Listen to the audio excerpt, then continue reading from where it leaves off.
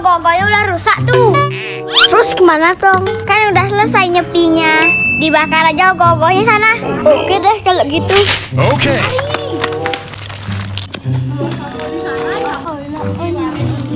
Langsung kebakar deh guys. Bye bye. Bye bye Bye ya Gogo. Bye Teman-teman, katanya putih saja itu. matanya. Nyonyoknya Oh, nyonyoknya lepas. Lepas.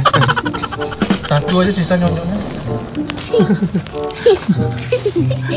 Nyonyoknya sudah dua patah. Tangannya sudah hampir putus. Kepalanya juga guys. Hah? Kepalanya juga.